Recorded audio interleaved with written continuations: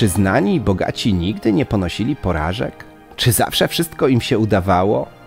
Dziś przedstawię Ci krótki, ale niesamowicie inspirujący filmik, którego głównym bohaterem jest Jack Ma, jeden z najbogatszych ludzi na świecie.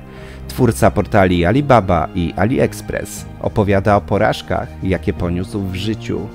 Będziesz w szoku, jak dowiesz się, ile ich było. Nie uwierzysz, jak ciężką drogę musiał przejść. Jest to świetna dawka zdrowej motywacji i inspiracji.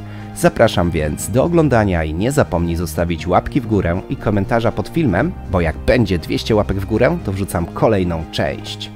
Poniosłem porażkę w śmiesznych rzeczach. W podstawówce oblałem ważny egzamin dwa razy. Trzy razy nie dostałem się do szkoły średniej. Trzy lata próbowałem dostać się na uniwersytet. Próbowałem znaleźć pracę 30 razy i nie udało się. Próbowałem dostać się do policji i powiedzieli nie, nie nadajesz się. Próbowałem również w KFC, gdy zaczęli działać w moim mieście.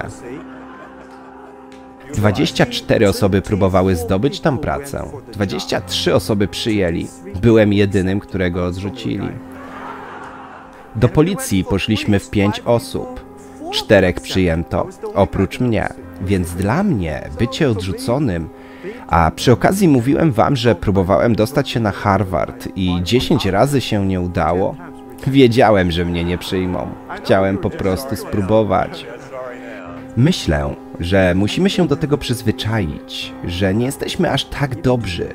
Nawet w dzisiejszych czasach wiele osób nas odrzuci. Nie wiem, czy na świecie jest dużo osób, które zostały odrzucone aż 30 razy. Jeśli my po prostu się nie poddamy, jeśli tylko jak Forrest Gump będziemy walczyć, będziemy zmieniać siebie bez narzekania, niezależnie czy się udaje, czy nie, Odkryłem, że gdy ludzie kończą pracę i popełnili błąd, jeśli ciągle zrzucają odpowiedzialność na innych, to nigdy im się nie uda.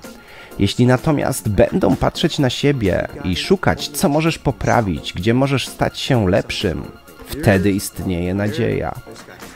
Więc jeśli chcesz otaczać się pozytywnymi ludźmi i zmieniać swoje życie na lepsze, to koniecznie subskrybuj mój kanał, na którym codziennie wrzucam do Ciebie inspirujące treści i oczywiście zajrzyj na moje live'y na żywo, aby spędzać czas z pozytywnymi ludźmi.